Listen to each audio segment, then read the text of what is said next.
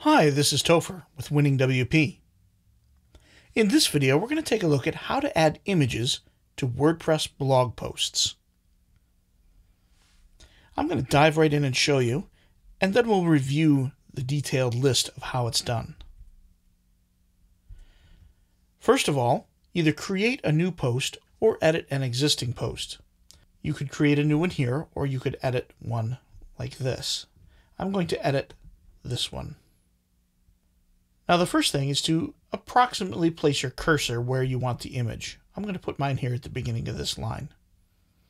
It doesn't really matter because you can move the image once you're done, but I find that it's useful to put the cursor there. So really the first thing we're going to do is click Add Media. And now this is our empty media library, so I need to upload a file.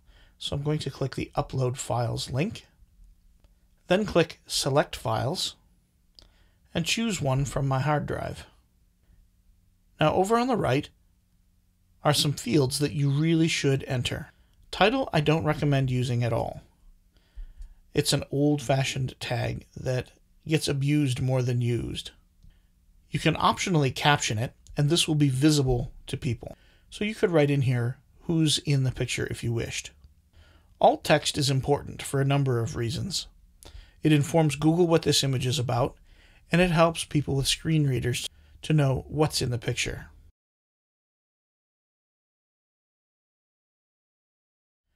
The description is admin only. It's for your benefit. So you could put in a description that no one would ever see but will help you know what's going on here. Then we have some display settings. You can align this image to the left, center, or right. I'm going to choose left. Then you can choose to link to the media file, which would be the full size image, an attachment page, which would be a WordPress page with the image on it, or a custom URL, and that would allow you to link to another page on the internet. I'm going to choose media file. And then it tells me right here where it's going to link. And then I can choose a size. A cool thing about WordPress is that when you upload an image, it makes three different sizes in addition to the original. So we have thumbnail, which is always square, 150 by 150. Medium, which is similar proportions to the original, but only 300 wide. And then full size, which in this case is my original. So I'm going to choose medium. And then we click insert into post. And that's it. Now I have an image in my post.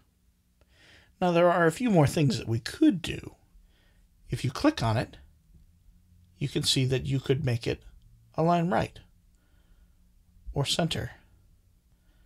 And if it's really not what you want, you can click the pencil and you could choose a different size or where it links to, or go ahead and put in a caption. And there are even some advanced options, which we don't need to go into for this video. Let's caption it just for fun. And now I'll update. And you can see my caption here. Now, how the caption actually appears on the front end of your site depends on how your theme is built. It can look many different ways. But let's review. First, you need to be creating or editing a blog post. Then you click the Add Media button. Then you choose the Upload tab button. Now, if you had already uploaded your image, it would already be in the media library, and you could just select it from there. You don't have to upload it a second time. But if you're uploading, then you either browse your hard drive or you drag your image into your browser and it will upload it. You manage the options on the right regarding size and alt text and things like that. And then you click Insert into Post.